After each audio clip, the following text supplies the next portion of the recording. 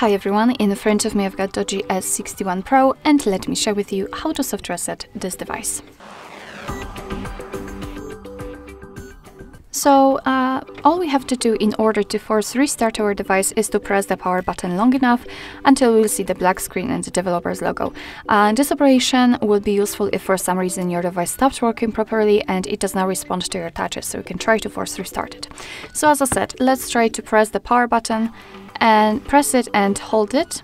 As you can see, we've got this restart option, but let's pretend that we cannot tap on it. So keep pressing the power button.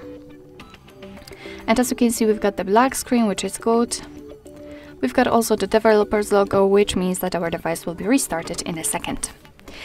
Alright, so that will be all. Thank you so much for watching. I hope that this video was helpful and if it was, please hit the subscribe button and leave the thumbs up.